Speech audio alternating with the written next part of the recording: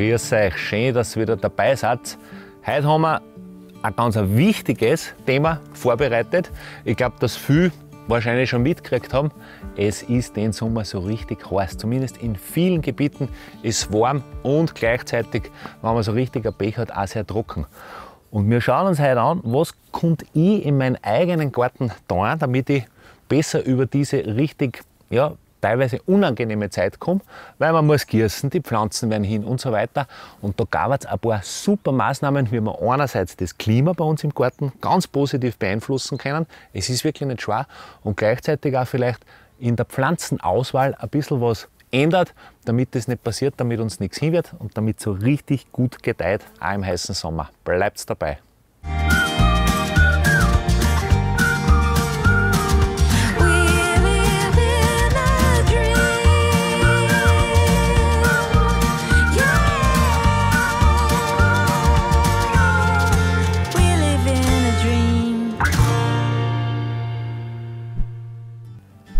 Echt nicht unterschätzen darf und wir unterschätzen es nach wie vor, ist die unglaubliche Wirkung unserer Bäume aus, ich nenne es jetzt bewusst Klimamaschine. Bäume machen Klima und genauso machen sie das auch im eigenen kleinen Garten. Gut, wir können jetzt global natürlich das Klima nicht unbedingt ändern, aber zumindest bei uns im Garten, aber auch darüber hinaus in der Siedlung oder in der Gemeinde können wir wirklich für ein besseres Klima sorgen, weil Bäume so viel unglaublich positive Eigenschaften haben. Sie kühlen allein durch die Wirkung des mit dem Schatten haben, aber gleichzeitig ist ein Baum insofern so interessant und wertvoll, weil er verdunstet. Du hast eine Verdunstungskälte. Und ich glaube, das Phänomen kennen viele, speziell wenn wir uns in irgendeiner heißen Stadt bewegen. Es ist so richtig, es hat 30, 35 Grad und du kommst in die Nähe von einem Baum und stößt dich drunter. Ah, es ist wirklich um mehrere Grad kühler. Und das sollte man uns wieder viel mehr in unseren Gärten auch bewusst werden, dass man nicht Angst hat vielleicht von der Größe von einem Baum oder dass er, wie es dann oft gesagt wird, ein Baum mistet. Das ist ja kein Mist, das ist ganz eine wertvolle Substanz, die der Baum in Form von den Blättern dann runterschmeißt.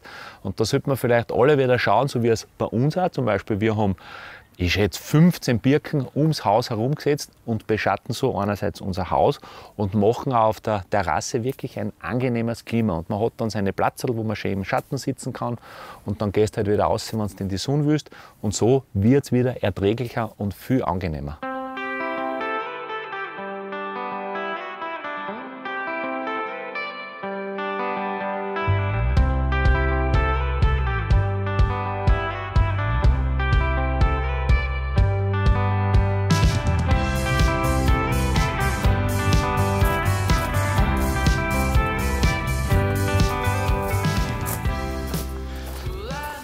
So ein Baumschatten, das ist schon was Herrliches. Das schlagt nämlich wirklich jede Markisen und jeden Schirm braucht man nur ausprobieren. Und es gäbe eigentlich so viele Bäume, die es nehmen könnt. Wer eher der praktische Typ ist oder wer gern ein bisschen Obst hat, setzt euch Obstbaum. Ganz ideal. Das wäre, man vergisst das vielleicht oft, Bäume sind für den Artenschutz so wichtig und gerade mit Obstbäumen könnt ihr ganz, ganz viele verschiedene Lebewesen unterstützen. Nicht nur Bienen, sondern auch ganz viele verschiedenste Schmetterlingsarten brauchen unsere Obstbäume und natürlich auch dann die reifen Äpfel freuen sich auch wieder viele Lebewesen und Tiere.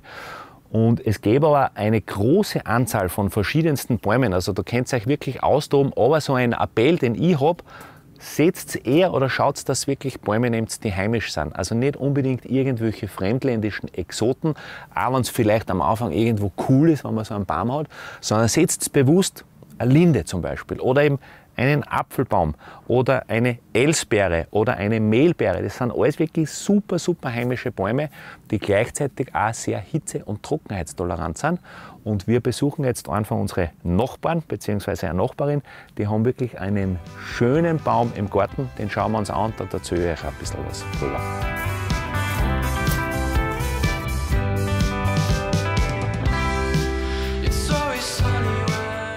Und so geht's jetzt für Markus ins E-Auto in Richtung Linde. Denn wie heißt so schön, unter Linden wirst du ein Blümlein finden. Naja, oder zumindest ein paar Lindenblüten.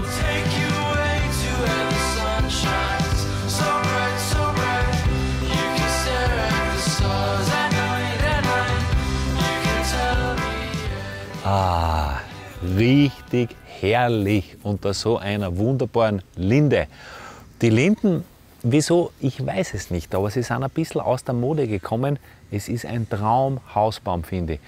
Sicher wird es mit den Jahrzehnten, muss man immer sagen, ein größerer Baum, aber der ich glaube, ich weiß den Baum jetzt 20 Jahre und der hat immer noch eine wirklich eine nette Größe und du gehst ein, es ist sofort um ein paar Grad kühler. Und es ist ein ganz ein wertvoller heimischer Baum. Erstens einmal für unsere Tierwelt sehr, sehr wertvoll. Das wissen, glaube ich, die Imker natürlich alle. Die Linde ist ein besonders wertvoller Trachtbaum. Sie wird von den Bienen sehr, sehr viel beflogen, weil diese Blüten so nektarreich sind. Aber die Hummeln, die lieben sie ja unglaublich.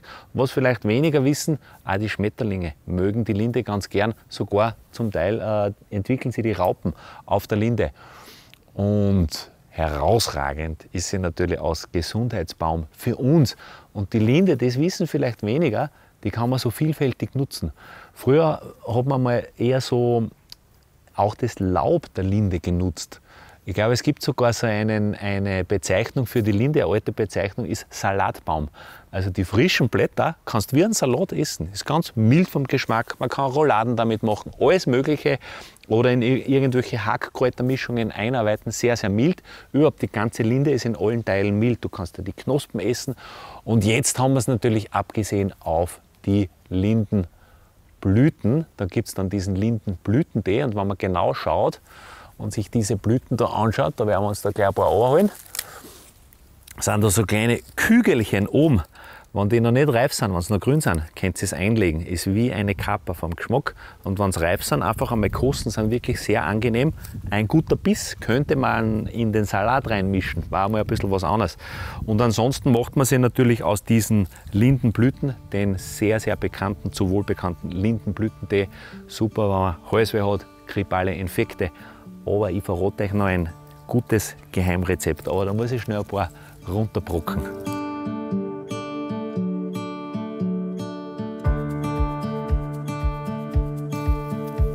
Ein Erfrischungstipp, wenn es recht heiß ist, dann brockt euch, ah, noch ein bisschen mehr sein, vielleicht muss ich noch ein bisschen was brocken, dann brockt euch eine gute Hand von diesen Lindenblüten und dann gebt es in einen Krug, etwa ein Liter Wasser, und lasst sie stehen über Nacht.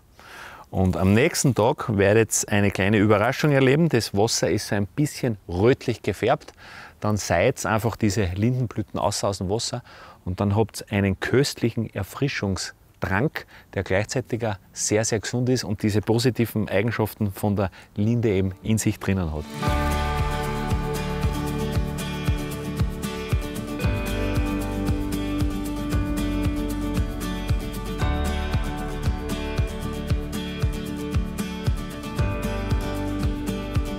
Bevor Markus aber Nachbarslinde kahl zupft, geht's besser wieder zurück in seinen eigenen Garten und zwar direkt in den Teich. Wer hier allerdings keinen Teich erkennen kann, Moment, hier kommt der Beweis.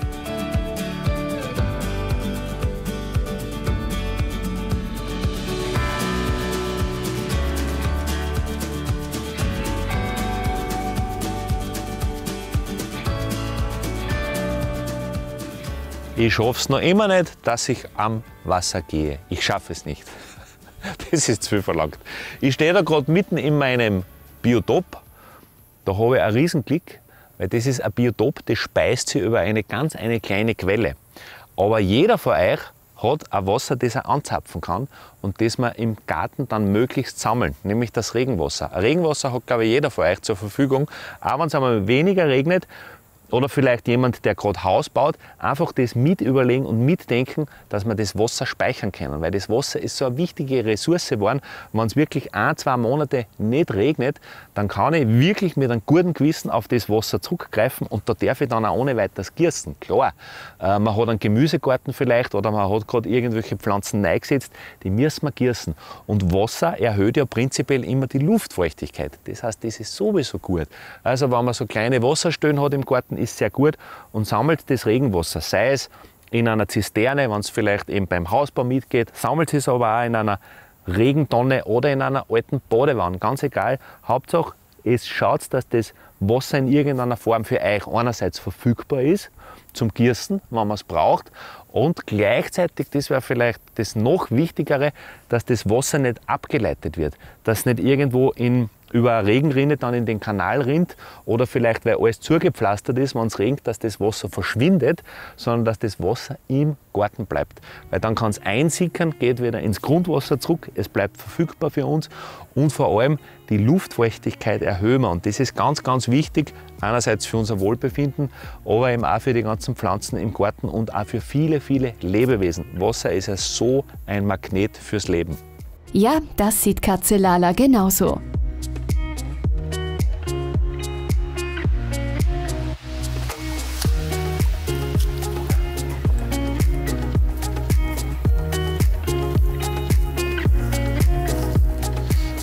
Wir sollten also auch schauen, dass wir die ganze Verdunstung, die stattfindet im Garten, minimieren. Eine super Möglichkeit ist zum Beispiel, sich einfach von unnötigen Rasenflächen trennen und diese Rasenflächen umwandeln in Wiesenflächen. Einfach einmal überlegen, wie viel Rasen muss ich wirklich haben. Das kalten man sich natürlich zum Spülen mit den Kindern oder wie immer und den Rest lasst einfach in eine Art Blumenwiese reinwachsen. Die mäht halt ein, zweimal im Jahr, weil man kann sich vorstellen, diese hohe Vegetation, die beschattet den Boden. Man kann da auch reinprobieren und unten fühlen, da ist viel länger feucht wenn man zum Beispiel wieder diese Taunässe hat, die hält sich dann da einfach wesentlich länger. Und gleichzeitig ist natürlich auch in puncto Artenschutz ganz, ganz wertvoll, weil es wandern wieder unsere heimischen Pflanzen und im Schlepptau natürlich die heimischen Tiere da mit ein. Und der Garten bleibt einfach länger feucht. Die Feuchtigkeit verweilt länger im Boden. Oder setzt Sträucher. Da wieder natürlich schauen eher heimische Sträucher. Gibt es eine unglaubliche Menge an Sträuchern das setzen könnt. Das könnt ihr auch was setzen, wo man vielleicht ein Obst ernten kann, wie ein Mispel zum Beispiel oder ein Dirndlstrauch. Aus Windschutz. Wind wäre auch ein Thema, weil Wind trocknet auch aus. Wenn man weiß, ich habe immer permanent einen Ost- oder einen Westwind, setzt ein paar Sträucher hin und der Garten kriegt ein besseres Mikroklima, er wird geschützter, ich habe weniger Verdunstung. Gleichzeitig habe ich über so einen Strauch ein bisschen eine Schattierung und tue wieder ganz, ganz viel natürlich für unsere Angefangen von den Bienen natürlich, Hummeln, aber auch Schmetterlinge und andere Insekten. Sträucher sind richtig wertvoll und wenn man vielleicht Platz hat, überlegt, was hinsetzen könnt, dann habt ihr schon wieder einen super Beitrag. Was in Gemüsegarten auch ein Thema wäre, da muss man ein bisschen aufpassen, dass man diese Sachen auseinanderhält, weil im Gemüsegarten ist es ja oft so, du hast eine offene Erdfläche und du musst laufend gießen. Da könnt ihr auch einiges machen und das zeige ich euch jetzt da. Es funktioniert nämlich ein bisschen anders wie bei Wiesen. Die soll man nämlich nicht mulchen, aber im Gemüsegarten wäre es super, wenn man mulcht. Das schauen wir uns kurz an.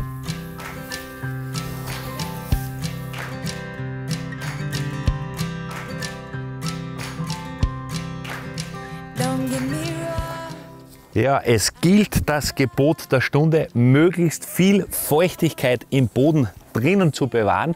Da habt ihr ein paar ganz nette Möglichkeiten. Einerseits könnt ihr mulchen. Das Schöne ist, finde ich, jeder, der einen Garten von einer gewissen Größe hat, hat dieses Material automatisch immer zur Verfügung.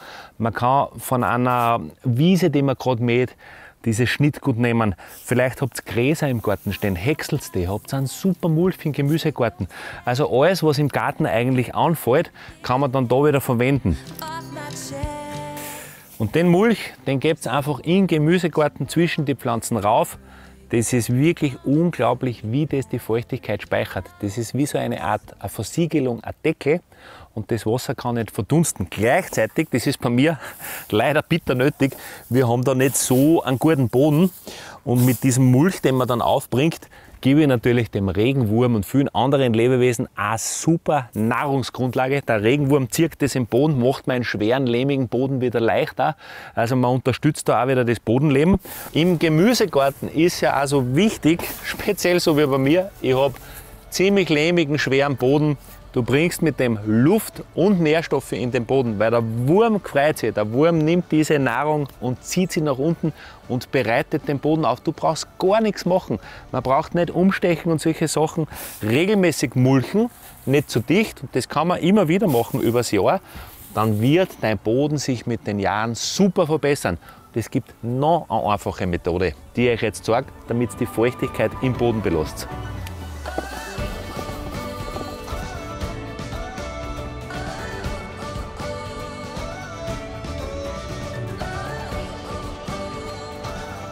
Eine ganz alte, aber eine super einfache Möglichkeit. Gemüsebauern kennen das sicher. Und zwar die oberste Bodenschicht ist ja oft so ein Thema, weil vielleicht sehr viele Beikräuter drinnen sind, die dann immer keimen. Und da gibt es eine sogenannte Pendelhaue. Das ist eine Haue, man sieht das, die hat oben ein bisschen eine Bewegung, also ein Spiel. Und mit dieser Haue kann man das oberste Unkraut abschälen. Also da gehst nur ein, zwei Zentimeter tief in die Erden rein, man zieht das so fein drüber und lässt das genauso wie man es abgezogen hat einfach wieder liegen. Durch das unterbrichst du die Kapillarität des Bodens und die von unten nach oben gesogene Feuchtigkeit kann über die oberste Bodenschicht nicht raus, weil ich das mit dieser Pendelhaue zerstöre. Gleichzeitig erwische ich die Beikräuter, die ich nicht haben will, und die lasse ich auch wieder liegen. Das ist wieder ein super Mulch und der Regenwurm freut sich. Und es ist eine nette Arbeit.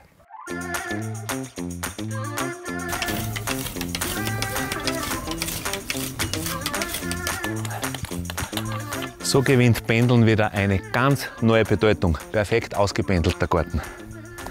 Als Pendelprofi kann Markus sicher auch Cosi bei ihrem Dekotipp helfen, auch wenn er dafür sein Pendel gegen Brechstange, Hammer und Nägel tauscht.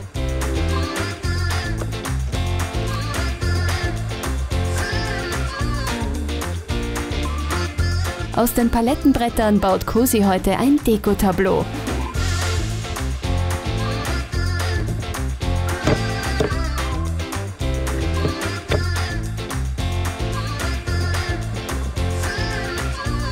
Ähm, Markus, du wärst dran.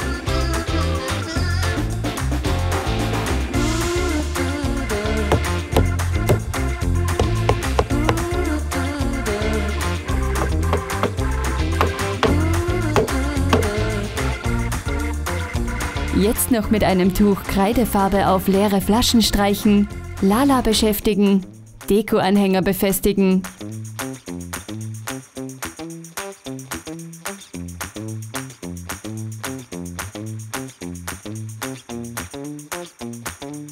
Und die Flaschen auf dem Holztableau drapieren. Und jetzt noch das Tableau streichen. Ein bisschen Wasser in die Flaschen füllen und noch heimische Blumen darin arrangieren. Et voilà, fertig ist die schöne Tischdeko.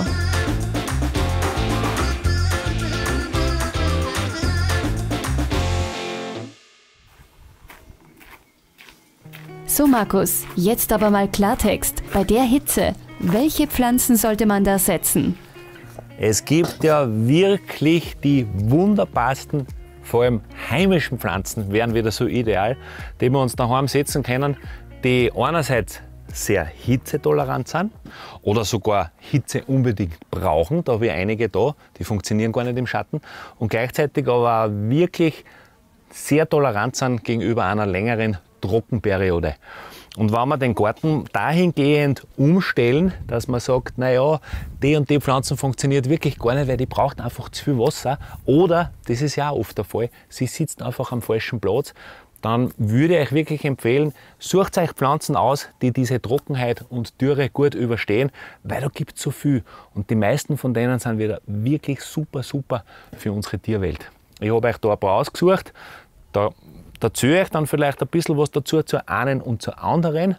Und das ist ja auch so ideal, wenn ihr vielleicht nur einen kleinen Balkon habt oder überhaupt nur zwei, drei, vier Töpfe, kann man solche Pflanzen super in Töpfe setzen. Das zeige ich euch jetzt, wie das geht. Ist ganz einfach und dann erzähle ich euch noch ein bisschen was, was diese Pflanzen für ihre Tricks haben, damit sie diese Trockenheit überhaupt aushalten.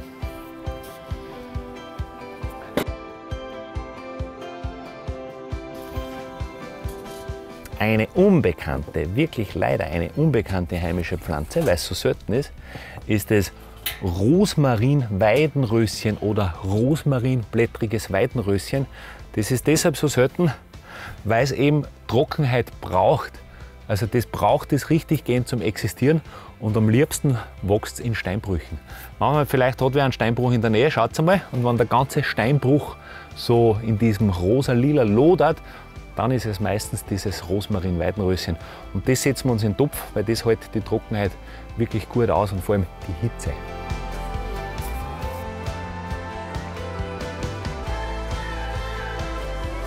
Da würde ich euch vielleicht den Tipp geben, entweder kauft euch im Handel eine wirklich dafür gemachte Trogerde oder was auch sehr gut ist, sind diese Dachgartenerden. Die eignen sich sehr gut.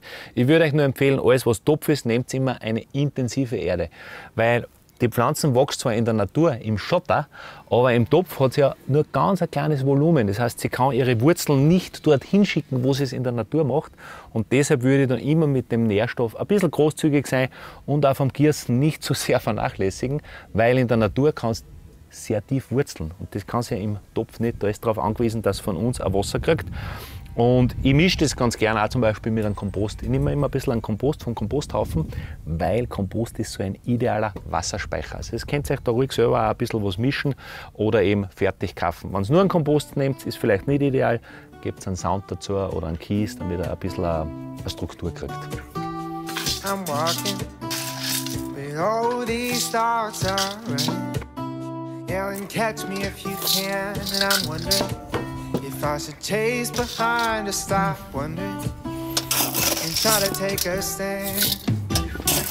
Oh, and they keep asking where the hell I'm going, who I'll be for the rest of my life. Well, I don't know where take me. Das ist mein Kompost, da ist sogar Regenwurm dabei. Das mische ich dann einfach dazu. Man sieht da im Kompost, die da hin und wieder mal einen Sound oder sowas einschmeißen, wenn sowas überbleibt. Der ist einfach luftig, der hat eine super Struktur und der behält die Feuchtigkeit. Und das ist eben so ideal für unsere Topfpflanzen.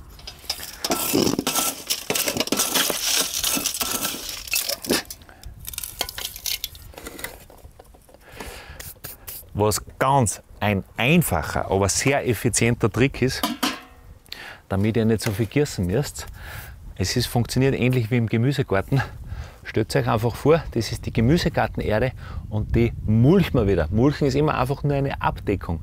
Die Pflanzen haben allerdings lieber, wenn es eher was Kiesiges oder was Sandiges ist, gebt einfach eine Schicht drauf mit 2, 3, 4 cm Kies oder Sand, relativ einen feinen Kies und das speichert wieder die Feuchtigkeit unten. Das ist erstaunlich, was das für einen Unterschied macht.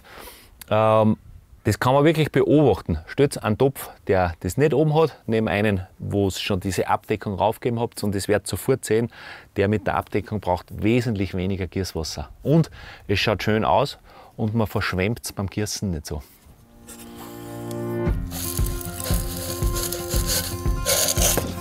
It's as simple as it seems, the twinkle in your eye, the way that time slows down when you kiss me. Schaut, schaut original aus wie in der Kiesgrube. Na, das, das taugt ja wirklich, da fühlen sie sich sehr wohl. Ähm, was auch noch ein Thema ist, muss man aber ein bisschen immer abwägen, ob es der jeweiligen Pflanze gut tut.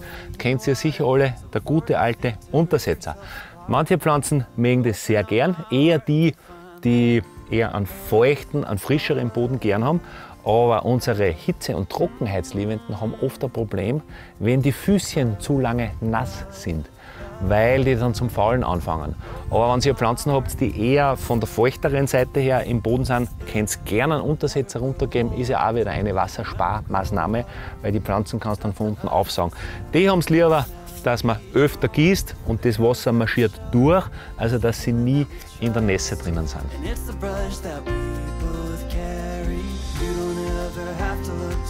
Was hochinteressant ist, wenn man sich kurz einmal so überlegt, wie schaffen diese Trockenheits- und hitzetoleranten Pflanzen das überhaupt, dass sie mit solchen Extrembedingungen zurechtkommen.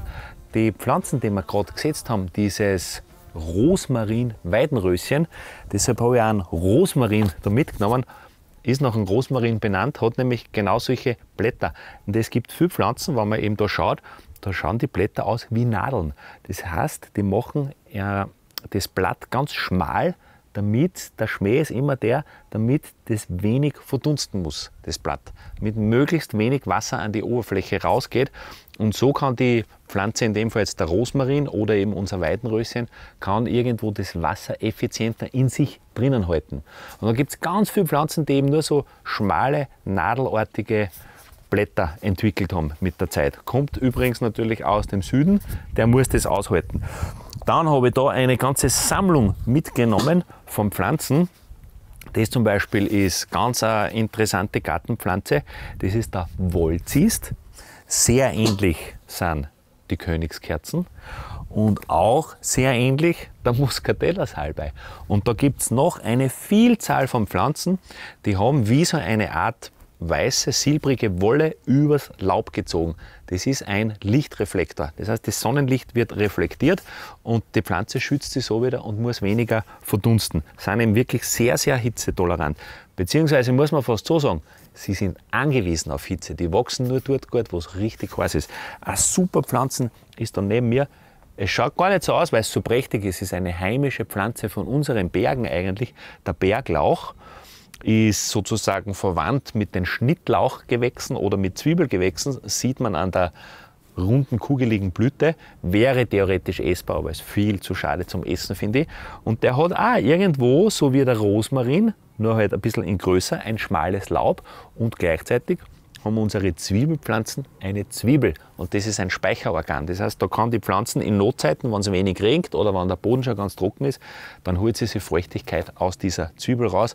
Super Sommerblüher übrigens. Und eben diese heimischen Pflanzen unterstützen unsere Tierwelt wieder so ideal. Da habe ich auch noch was ganz was Schönes. Das ist auch wieder vom Berg, eher die Bergminze. Man sieht auch vom Laub her so ein bisschen sübrig glänzend reflektiert das Sonnenlicht, kein sehr großes Laub. Die halten es wirklich sehr, sehr trocken aus.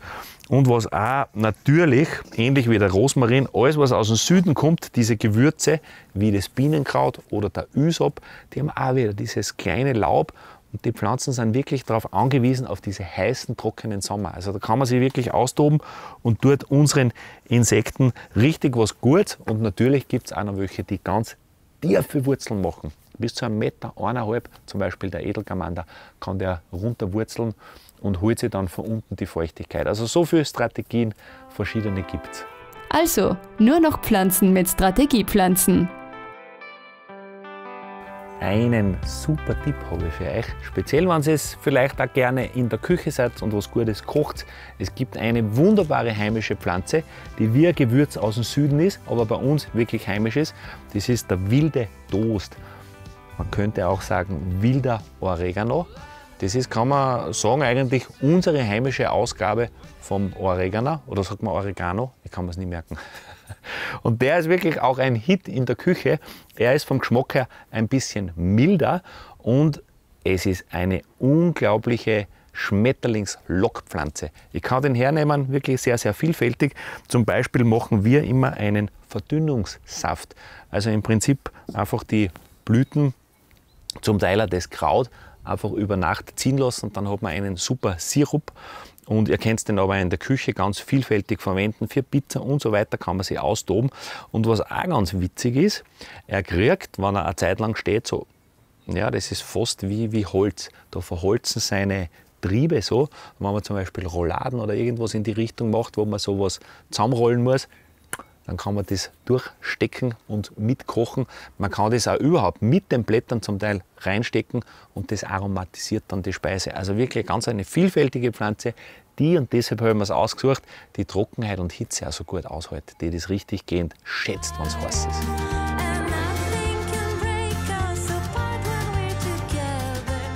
Ja, ich hoffe, es war ein bisschen was dabei für euch. Ich glaube, man sieht, es gibt wirklich viele Pflanzen, wo man sie im eigenen Garten austoben kann und die diese Hitze und Trockenheit sogar gern haben. Und wir können ja aktiv so. so da, da. Genau.